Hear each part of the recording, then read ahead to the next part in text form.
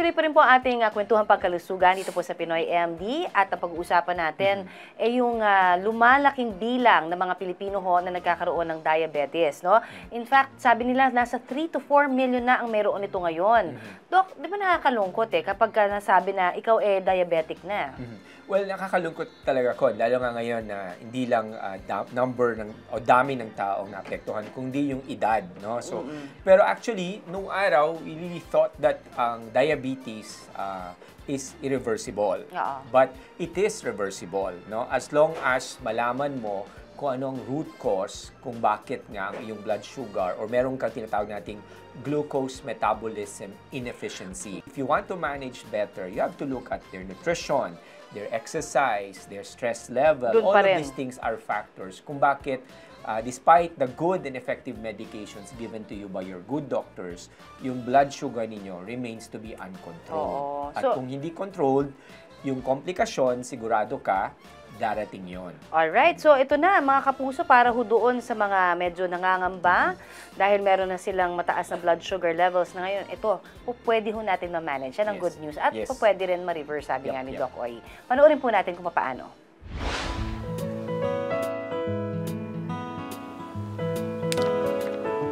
Kung pinoproblema ang diabetes, di na raw kailangang magtiis. Kapag daw kasi ngumuya ng dahong ito, bababa ang iyong blood sugar. Ang insulin plant, miracle cure nga ba sa diabetes? Halos kalbo na ang tanim na insulin plant ng type 2 diabetic na si Tatay Alberto. Dalawang beses kada araw daw kasi kung pumitas ang 72 taong gulang ng mga dahong nito.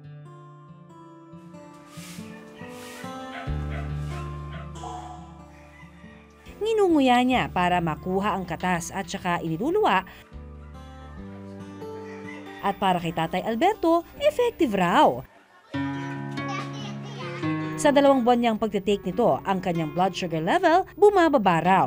Dati raw nasa 200 mg per deciliter ang fasting blood sugar level niya. Medyo parang umano nga yung ano ko, sugar ko. Kasi nung nagpatingin ako noon eh, sa ano lang eh, 110 lang yung ano ko eh, FBS. Sa dalawang buwan na nag-insulin plan si Tatay Alberto, iningatan niya rin ang kanyang pagkain. At uminom din siya ng niresetang gamot.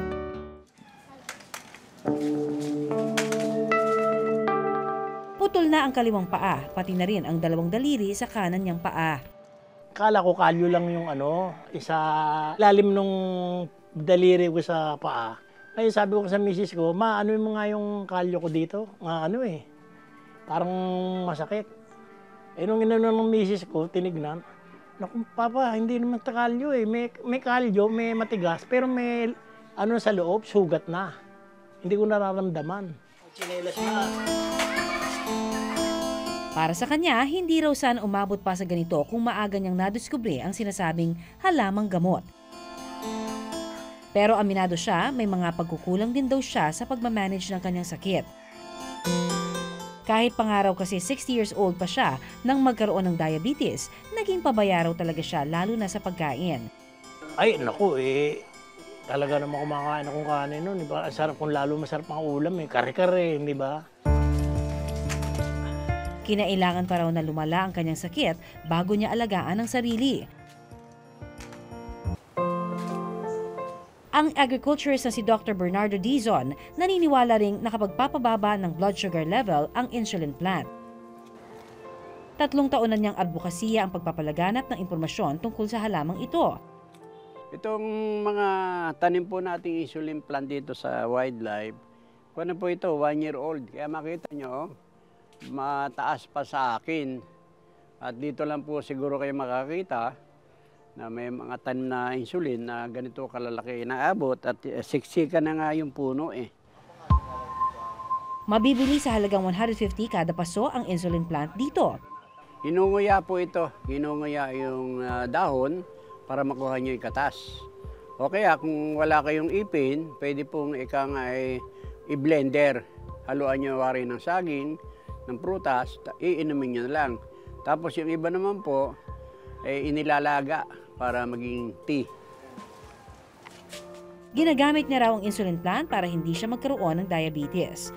At tumataas po talaga yung aking sugar pag uh, nagpapalaboratory ko. No, hindi pa ako gumagamit ito. Kaya noon eh, nag, nag, eh, may reseta rin ako metformin para kaya ngay bumaba yung sugar. Online na insulin plant capsules at saan na rin ibinibenta.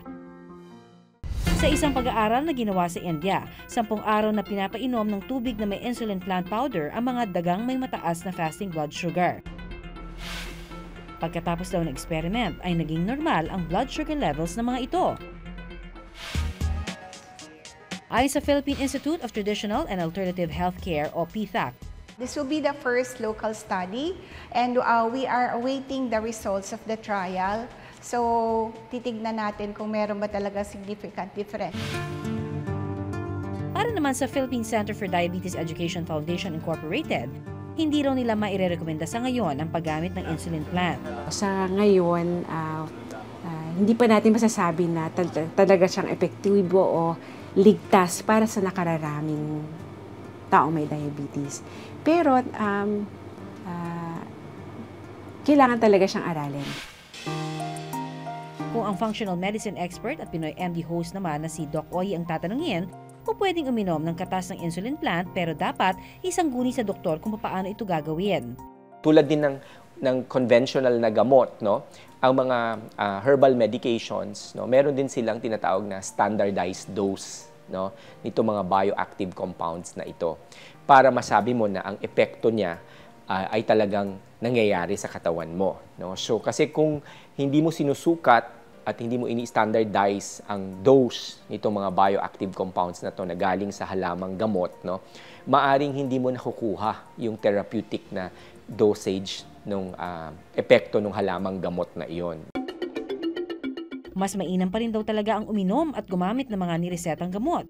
Marami talagang options ngayon. Pinaka-common siguro na maririnig mo ay metformin.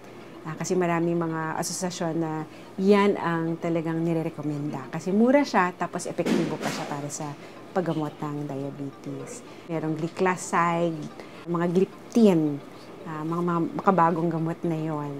Uh, maliban sa insulin na ini-inject. Kasabay nito, malaki rin daw ang maitutulong ng pagkakaroon ng healthy lifestyle.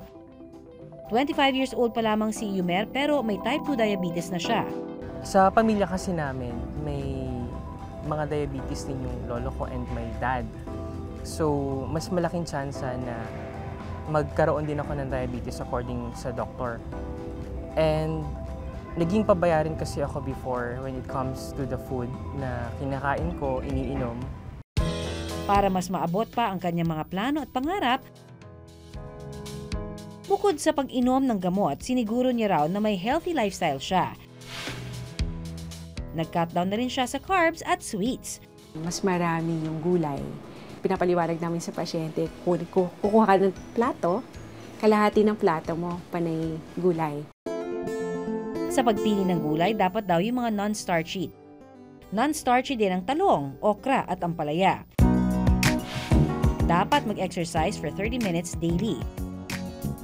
Ilan sa mga pwedeng gawin ay ang brisk walking at jogging hindi na ganun kabigat yung pakiramdam ko sa sarili ko. Mas gumaan, mas lumiksi akong kumilos, uh, mas nakakatulog ako ng maayos, mas gumigising ako ng mas maaga. So, totally napakalaking pagbabago para sa akin. Purely medical o medical na hinaluan ng alternatibong paraan Pagdating sa diabetes, matanda man o bata pa na magkaroon nito, ang pinakamahalaga, magpagabay sa doktor at alagaan ang kalusugan.